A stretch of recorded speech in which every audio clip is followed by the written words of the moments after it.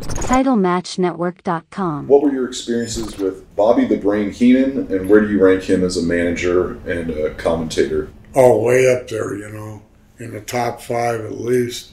Bobby the Brain, fabulous. He could wrestle too. He used to be Dick the Bruiser's manager in Indianapolis, and that's where he got his break. He would take bumps and everything. He was fabulous. He took those Ric Flair bumps, you know. Bobby the Brain, what a what a talker, a lot of comedian, very sad. You know, he, he ended up getting throat cancer and stuff. Very sad.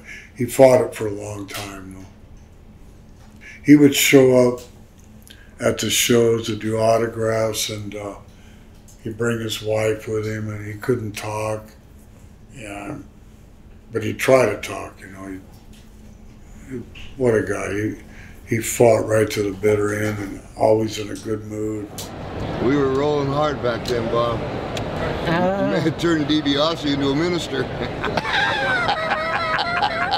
I love you so much. Uh, he would tell a joke and his wife would translate it to me when I'd come over and see him.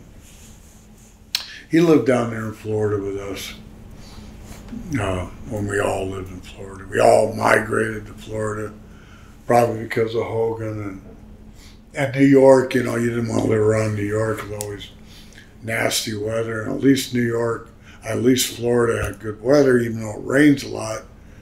It, and it was really hot. It would clear right off because you you know it was the peninsula. Yeah. Yeah. So weather was good. Who's the other guy you mentioned? Terry Taylor. He was a Yeah. rooster. Oh, gee. You know, he works. I saw him in Los Angeles not too long ago when they had WrestleMania. He's working backstage there. He always, this guy always gets a job. Terry Taylor. I guess he's got a good mind for it, you know, whatever. But anyway, uh, that Red Rooster gimmick, and he would, God, he hated that gimmick. And Vince heard that he would take all that stuff out he got out of the ring and go through the airports. He goes, No, I want you to wear that Red Rooster gimmick in the airports and on the airplane. Crazy. I don't know if he ever did it. I just saw him a few times, and I think he had the gimmick on. Red Rooster. Where they thought? Why would they think of that? The way he, maybe he did the Ric Flair strut or Buddy Rogers strut, whatever you call it, and but you, you think it looked like a cockadoodle doo, cockadoodle doo.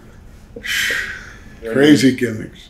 How were you able to just be Greg Valentine everywhere you went? Like, were you approached with ideas? Of No, just the doing- rhythm, just the rhythm and blues was the only thing. Yeah, I was just a mainstay there. It's lasted there twenty years. You know, Vince liked me, and and Vince Senior liked me, and talent was. I had the talent, but the rhythm and blues thing was the only, the only thing I did different, and I, I don't begrudge that. I, I enjoyed that. TitleMatchNetwork.com.